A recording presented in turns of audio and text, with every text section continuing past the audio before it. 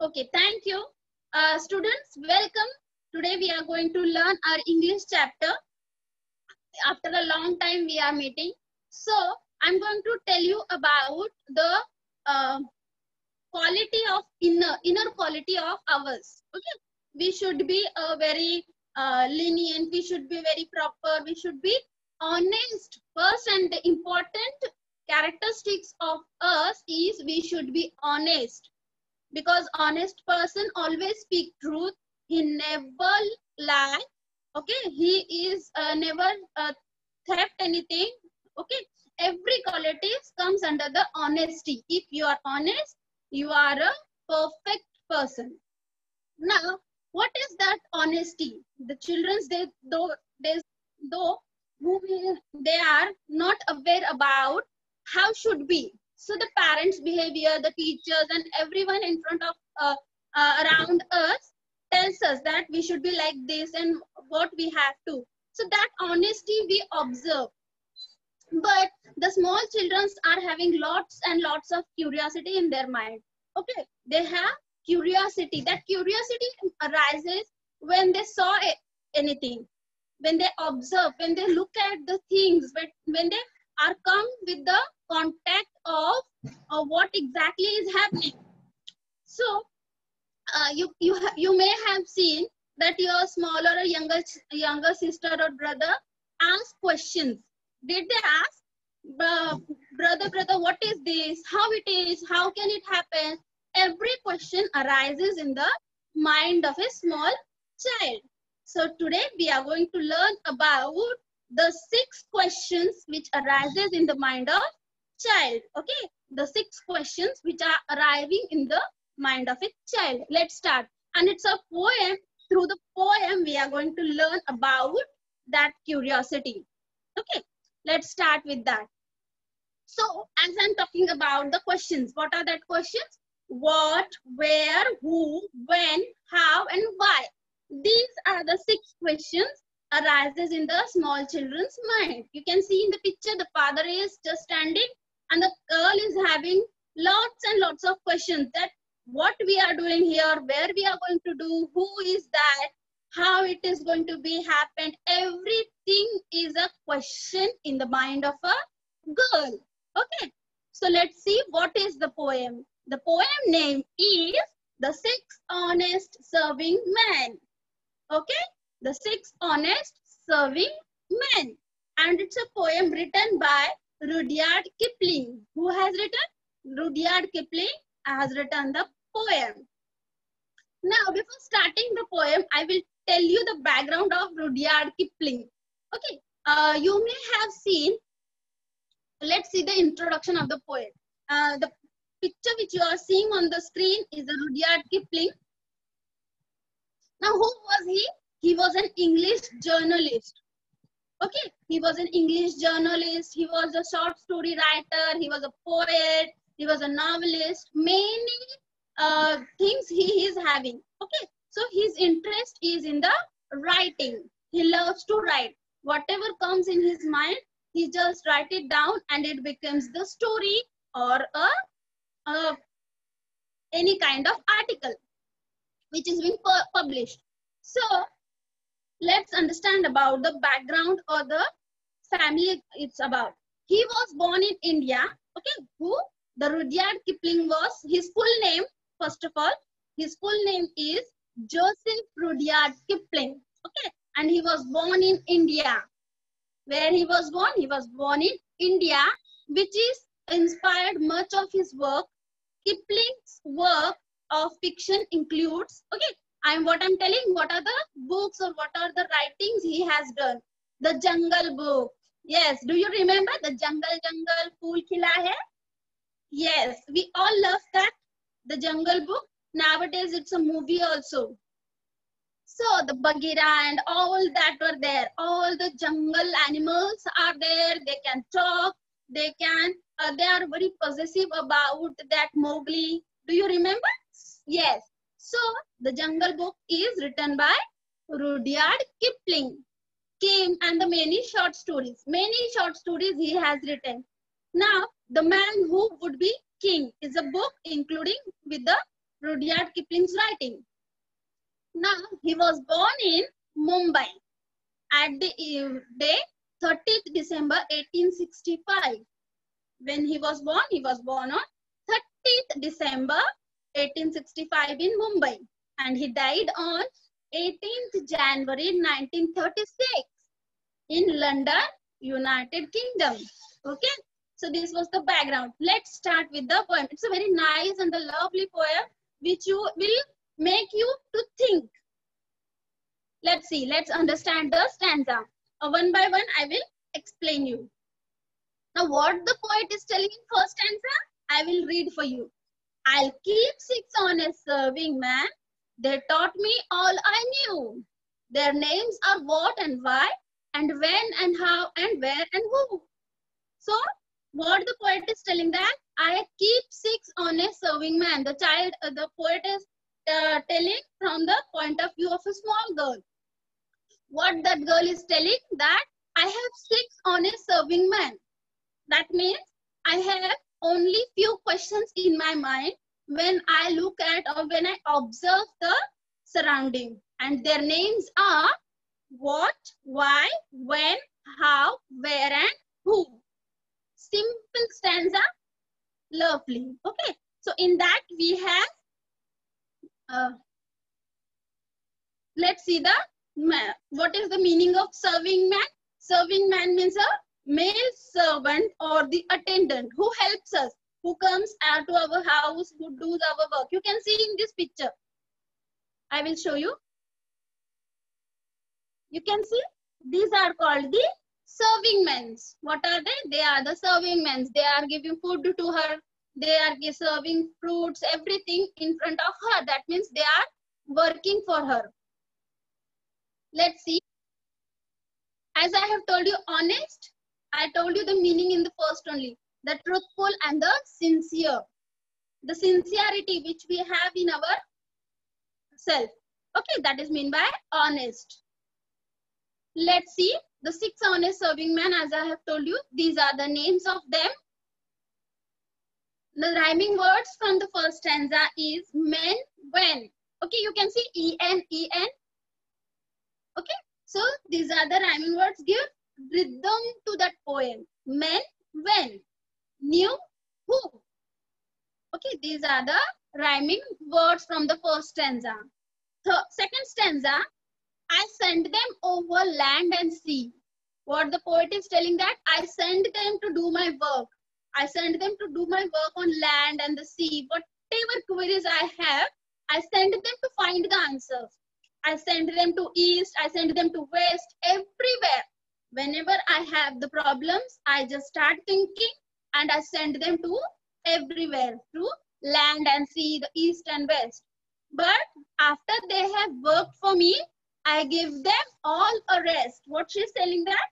I'm not just at all concerned about the finding of answer, but I keep my mind calm. I gave the rest to my mind. I, I always in the every time I'm not keep on thinking on that. If I found the answer, I will be satisfied. If the curiosity arises, I take a rest. I give a pause to my mind. The full rest is given and then again in the process I have started. But the rest to, to our brain is important.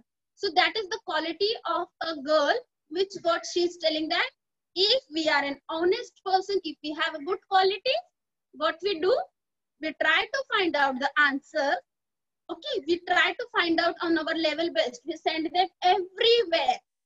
But at the end of the day, I take a rest. I don't spend my time in thinking. I am, am never overburdened. Okay, are you getting? Okay, very good. The second stanza is also very simple it's very uh, easy for all of us to understand. Okay. In the first poem, she said that I have six serving honest men. I gave them the work. But in the second stanza, she said that I'm sending them to do my work. But now they are, at the end of the day, they are resting. Okay. Let's see the third stanza. Let's see about the third stanza. I let them rest from 9 till 5. What she's telling that? I am giving them the rest from 9 till 5 for I am busy then. What she's telling that? In the daytime, my mind is taking rest because I myself is doing work. I am not totally dependent on my serving men. I do my own work. I am busy in my uh, what in, in what work she is busy that as well as breakfast, lunch, tea. For they are hungry men. I serve them. I serve them for satisfaction of their thing. That if they have the energy, if they have the um, power, they can do my work. That's why what she's telling that I'm going to enjoy with them because I am doing my work and they are serving for serving to me. Okay. I hope all of you are getting my points. The rhyming words is see, me, rest, west, then, and men. Okay. In the first stanza also we have seen and the second and third stanza the rhyming words are see, me, rest, west, then, men. Okay. These are the rhyming words. Now let's see the next stanza. But different folks have different views. I know a small person small. She keeps 10 million serving men who, they, who get not rest at all. It is whatever she's told about is herself. Now what she's telling that when she look at the other person, when she look at the other child, what she saw that I have, I know one girl that all all the time she is having lots and lots of question. How many? That 10 million. 10 million. Kapil, as I have given you the meaning of serving men. See here, where you was when I was explaining. The serving men means male servant or the attendant. The person who is working for all of us. Our servers. The rich persons are having servants at their house. That is called the servants. Okay. Let's see the stanza. Continue with this. The different folks have different views. I know a person small. She keeps 10 million serving men who get no rest at all. That girl, the friend of that girl, poet is all the time she is thinking, all the time she is worried she's having curiosity. I want to know what happens. What is that? What is the, to do? Every questions the 10 million questions are arising. But the poet is only concerned about the six questions. Okay. Now the poet is telling about that girl. What that girl is doing? She is very much possessive. She is giving orders. What orders she is giving that she sent them abroad on her own affairs. From the second she opens her eyes, 1 million house, 2 million where's, and the 7 millions, why? What she is telling that? The 10 million questions the girl is having. Okay. The friend of that girl. This is the girl who is having 10 million questions. What are the 10 million questions? What are the 10 million questions? 10 million questions means she is having 1 million house, 2 millions of where's, and the 7 millions of why. Now, the curiosity. What is the meaning of curiosity? Curiosity means uh, it's a very strong feeling. We want to know what is happening. Okay. Uh, for example, uh, one of the poem from third stanza, uh, third standard was curiosity in that poem, the girl is telling that uh, how can a fish breathe in the water? She wants to find that answer. Na? How can a fish breathe in the water? How can the fruit is on the fruit? That she is trying to find the answer, but this question doesn't have the answer, and which makes us curious, which makes us to know the answers. One of the important questions the still people are finding the answer is the egg comes before or the hen. Yes, that was the question. Na? Everyone is thinking, who came first, the egg or the hen. So that is the curiosity. We want to know the answer, we but we haven't found it. Same with this girl. This girl is sending the serving man, the her thinking or her questions to abroad means all over. She tries her uh, uh, on her own affairs. She can afford that. That's why she is sending. And what are the questions? When she opens the eyes from the morning till the night, she is keeps on thinking about how this is happening, where this will go, how it will happen, why this is happening. Every question is arising in the girl's mind. Okay. So the girl is always telling. Okay. Now uh, in the poem there is a word called M. She sent them. I will show you. Here is that word. I will zoom for you. Wait a minute.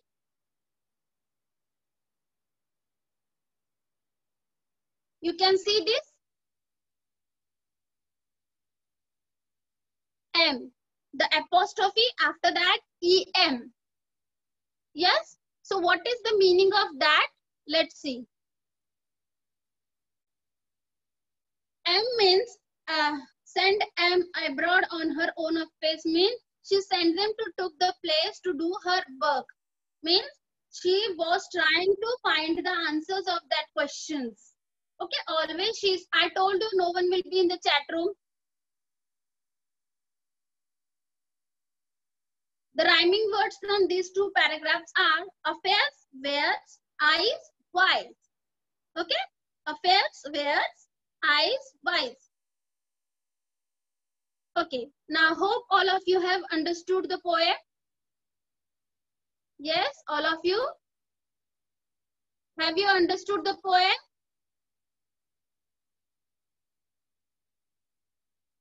Okay, no one will go to the chat box. No one. I don't want your S. Just keep with me. I will in summarize the poem for you once again. I will summarize the poem. Sorry. Poem for yourself. Those who are not able to understand. Now the poet has the stanzas. In the two stanzas, what she told is, what she told is, she told about herself. That I am having the curiosity. I want to know the answers of the questions which comes in my mind. But I have very few questions. I have only six questions in my mind. But when I saw the other children, when I saw the girl who is uh, my friend, she is all the time thinking and asking questions. Okay, she is not, not at all getting the rest of to mind. She keeps on thinking when she woke up in the morning. Simple poem, it's uh, everything which is the child should be.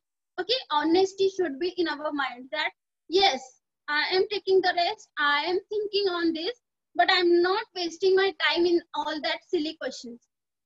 I have the lot of work. I have to study. I have to do something for my parents every everything she is thinking. And that's why she's having only six questions and she's trying to find out the answer at all. In the end of the day she takes the rest. Okay?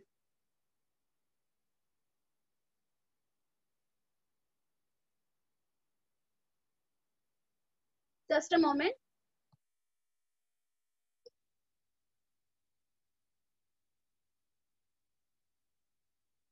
Okay, hope all of you have understood the poem, uh, everything. I'll once again read the poem for all of you.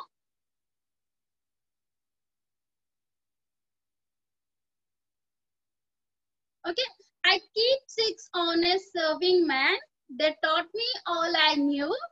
Their names are what and why and when and how and where and who.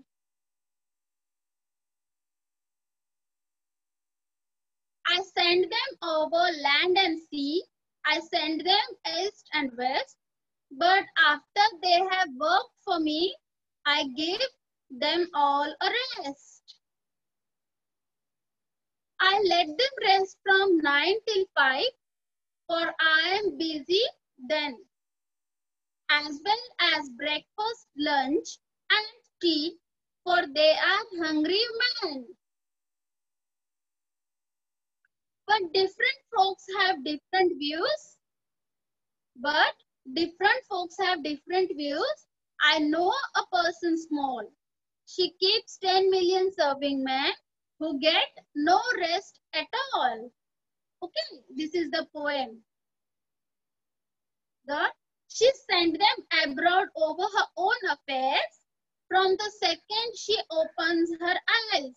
One million have, two million wells, and seven million wives. Okay, she has had lots and lots of questions. Okay. Now give me the answers through the chat box. Who taught the uh, poet all he knew? Who taught the poet all he knew? 10 million serving men, servants or 6 honest serving men? No others.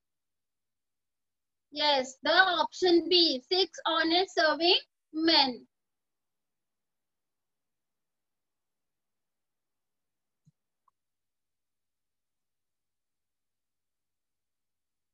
I want a full sentence answer. Who can give me? Six honest serving men taught the poet all he knew. Give me the full sentence answer. Take your time for typing.